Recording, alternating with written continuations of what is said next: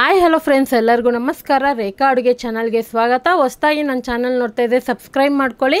ಬನ್ನಿ ಇವತ್ತು ಮದುವೆ ಮನೆಗಳಲ್ಲಿ ಕೆಲವೊಂದು ಹೋಟೆಲಲ್ಲಿ ಮಾಡೋ ಥರ ಟೊಮೊಟೊ ಬಾತ್ ರೆಸಿಪಿ ಯಾವ ರೀತಿ ಮಾಡೋದಂತ ತೋರಿಸ್ಕೊಡ್ತೀನಿ. ಇದು ಮಸಾಲೆ ರುಬ್ಬಿ ಮಾಡೋದ್ರಿಂದ ತುಂಬಾ ಚೆನ್ನಾಗಿರುತ್ತೆ. ಖಂಡಿತ ಈ ರೆಸಿಪಿ ಗೊತ್ತಿಲ್ಲದಿರೋರಿಗೆ ಈಸಿ ಆಗಲಿ ಅಂತ ಈ ರೆಸಿಪಿನ ನಿಮ್ಮ ಜೊತೆ ಶೇರ್ ಮಾಡ್ತಾ ಇದ್ದೀನಿ. ಇವತ್ತಿನ ರೆಸಿಪಿ ಇಷ್ಟ ಆಯ್ತು ಅಂದರೆ ಒಂದು ಲೈಕ್ ಮಾಡಿ ಶೇರ್ ಮಾಡಿ ಕಮೆಂಟ್ ಮಾಡಿ ತಿಳಿಸಿ. ಬನ್ನಿ ಇವಾಗ ಯಾವ ರೀತಿ ಮಾಡೋದಂತ ನೋಡೋಣ. ಸ್ಟವ್ ಮೇಲೆ ಒಂದು ಕುಕ್ಕರ್ ಇಟ್ಕೊಂಡು ಒಂದು ನಾಲ್ಕು ಟೇಬಲ್ ಸ್ಪೂನ್ ಎಣ್ಣೆ ಹಾಕಿದ್ದೀನಿ ಎಣ್ಣೆ ಬಿಸಿ ಆದಮೇಲೆ ಒಂದು ಅರ್ಧ ಟೀ ಸ್ಪೂನ್ ಸೋಂಪು ಕಾಳು ಎರಡು ಪಲಾವ್ ಎಲೆ, ಎರಡು ಏಲಕ್ಕಿ ಎರಡು ನಕ್ಷತ್ರದ ಹೂವು ಹಾಕೊತಾ ಇದ್ದೀನಿ. ಇದಕ್ಕೆ ಚಕ್ಕೆ ಲವಂಗ ಹಾಕಿಲ್ಲ, ಯಾಕಂದರೆ ಅದು ರುಬ್ಬೋದಕ್ಕೆ ಯೂಸ್ ಮಾಡ್ತೀನಿ. ಮೀಡಿಯಮ್ ಸೈಜ್ದು ಮೂರು ಈರುಳ್ಳಿನ ಸ್ಲೈಸಾಗಿ ಕಟ್ ಮಾಡಿ ಹಾಕ್ಕೊತಾ ಇದ್ದೀನಿ. ಇದ್ರ ಜೊತೆಗೆ ಸ್ವಲ್ಪ ಕರ್ಬೇವಿನ ಸೊಪ್ಪು ಹಾಕ್ಕೊಂಡು ಒಂದು ನಿಮಿಷ ಇದನ್ನು ಚೆನ್ನಾಗಿ ಫ್ರೈ ಮಾಡ್ಕೊಳ್ಳೋಣ. ಇದೊಂದು ಸ್ವಲ್ಪ ಫ್ರೈ ಆದರೆ ಸಾಕು. ಇದಕ್ಕೆ ನಾನು ಹಸಿ ಬಟಾಣಿ ಇತ್ತು, ಒಂದು ಕಪ್ ಹಾಕ್ಕೊತಾ ಇದ್ದೀನಿ ನಿಮ್ಮ ಹತ್ರ ಫ್ರೋಝನ್ ಬಟಾಣಿ ಇದ್ದರೆ ಅದು ಯೂಸ್ ಮಾಡ್ಬೋದು. ಅಥವಾ ಒಣಗಿರೋ ಬಟಾಣಿ ಇದ್ದರೆ ಅದನ್ನು ಒಂದು ರಾತ್ರಿ ಪೂರ್ತಿ ನೀರಲ್ಲಿ ನೆನೆ ಹಾಕಿ ಒಂದು ಅರ್ಧ ಕಪ್ ಆಗೋಷ್ಟು ಬಟಾಣಿನ ಸಪ್ರೇಟಾಗಿ ಬೇಯಿಸ್ಬಿಟ್ಟು ಯೂಸ್ ಮಾಡ್ಕೊಳ್ಳಿ. ಅಥವಾ ಬಟಾಣಿ ಹಾಕಿಲ್ಲ ಅಂದ್ರೂ ನಡೆಯುತ್ತೆ. ಈಗ ಇದ್ರ ಜೊತೆಗೆ ಒಂದು ಎರಡು ಸ್ಪೂನ್ ಕೊತ್ತಂಬರಿ, ಒಂದು ಎರಡು ಸ್ಪೂನ್ ಪುದೀನನ ಚಿಕ್ಕ ಚಿಕ್ಕದಾಗಿ ಕಟ್ ಮಾಡಿ ಹಾಕ್ಕೊತಾ ಇದ್ದೀನಿ ಇದನ್ನು ಅಷ್ಟೇ ಒಂದು ನಿಮಿಷ ಫ್ರೈ ಮಾಡ್ಕೋಬೇಕಾಗುತ್ತೆ. ಈರುಳ್ಳಿ ಪೂರ್ತಿ ಫ್ರೈ ಆಗಬೇಕಂತೇನಿಲ್ಲ ಮತ್ತು ಇಲ್ಲಿ ಚಿಕ್ಕ ಸೈಜದು ಮೂರು ಟೊಮೊಟೊನ ಹಾಕ್ಕೊತಾ ಇದ್ದೀನಿ ದೊಡ್ಡದಾದರೆ ಎರಡು ಟೊಮೊಟೊ ಹಾಕ್ಕೊಳ್ಳಿ ಚಿಕ್ಕ ಚಿಕ್ಕದಾಗಿರೋದ್ರಿಂದ ಮೂರು ಯೂಸ್ ಮಾಡಿದ್ದೀನಿ. ಒಂದು ಟೀ ಸ್ಪೂನ್ ಅಚ್ಕಾರದ ಪುಡಿನೂ ರುಚಿಗೆ ತಕ್ಕಷ್ಟು ಉಪ್ಪು ಹಾಕ್ಕೊತಾ ಇದ್ದೀನಿ.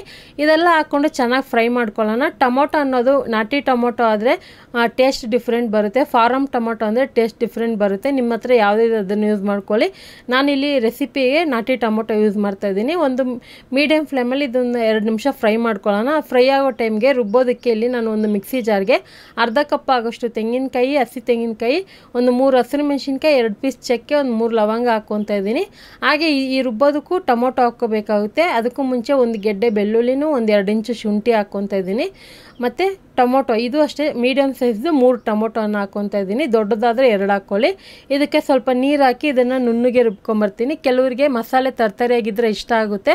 ಆ ಥರ ಕೂಡ ನೀವು ರುಬ್ಕೊಬೋದು. ಮತ್ತು ತೆಂಗಿನಕಾಯಿ ನಿಮಗೆ ಆಪ್ಷನಲ್ಲೂ ಬೇಕು ಅಂದರೆ ಹಾಕ್ಕೊಳ್ಳಿ ಇಲ್ಲಾಂದ್ರೂ ನಡೆಯುತ್ತೆ.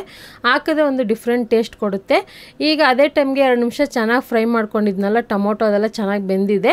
ಈಗ ರುಬ್ಬಿರೋಂಥ ಮಸಾಲೆ ಹಾಕ್ಕೊತಾ ಇದ್ದೀನಿ. ನಾವು ರುಬ್ಬಿರೋಂಥ ಮಸಾಲೆ ಹಸಿಯಾಗಿರೋದ್ರಿಂದ ಒಂದು ಇದನ್ನು ಒಂದು ಎರಡರಿಂದ ಮೂರು ನಿಮಿಷ ಹಾಗೆ ಕೈ ಬಿಡ್ದಂಗೆ ತಿರುಗಿಸ್ತಾ ಇರಬೇಕು. ಯಾಕಂದರೆ ತೆಂಗಿನಕಾಯಿ ಹಾಕಿರೋದ್ರಿಂದ ತಲೆ ಹಿಡ್ದಿರೋ ಚಾನ್ಸಸ್ ಬರುತ್ತೆ. ಸೊ ಅದಕ್ಕೋಸ್ಕರ ಇದನ್ನು ಚೆನ್ನಾಗಿ ಮಿಕ್ಸ್ ಮಾಡ್ಕೊಳ್ಳಿ. ಹಸಿ ವಾಸನೆ ಹೋಗೋವರೆಗೂ ಒಂದು ಎರಡು ನಿಮಿಷ ಮೀಡಿಯಮ್ ಫ್ಲೇಮಲ್ಲಿ ಫ್ರೈ ಮಾಡ್ಕೊಳ್ಳಿ. ಇದು ಚೆನ್ನಾಗಿ ಫ್ರೈ ಆದಮೇಲೆ ಕಲರು ಚೇಂಜ್ ಆಗುತ್ತೆ. ಸ್ವಲ್ಪ ಎಣ್ಣೆ ಬಿಟ್ಕೊಳ್ಳುತ್ತೆ. ಅದನ್ನು ಟಿಪ್ಸಾಗಿ ನಿಮಗೆ ಹೇಳ್ತಾ ಇದ್ದೀನಿ. ಸೊ ಎಣ್ಣೆ ಬಿಟ್ಟಾಗ ಸ್ವಲ್ಪ ಹಸಿ ಸ್ಮೆಲ್ ಹೋಗಿದೆ ಅಂತ. ಈಗ ನೋಡಿ ಈ ಥರ ನಾನು ಕಪ್ ಮೆಜರ್ಮೆಂಟಲ್ಲಿ ಒಂದೂವರೆ ಕಪ್ ಆಗೋಷ್ಟು ಅಕ್ಕಿ ತಗೊಂಡಿದ್ದೀನಿ. ಅದಕ್ಕೆ ಇವಾಗ ಮೂರು ಕಪ್ ಆಗೋಷ್ಟು ನೀರು ಹಾಕ್ಕೊತಾ ಇದ್ದೀನಿ. ನೀವು ಒಂದು ಕಪ್ ಅಳತೆಗೆ ಎರಡು ಕಪ್ ನೀರು ಕರೆಕ್ಟಾಗಿ ತಿಳ್ಕೊಳ್ಳಿ ಯಾವಾಗೂ ಹೇಳ್ತಾ ಇರ್ತೀನಿ.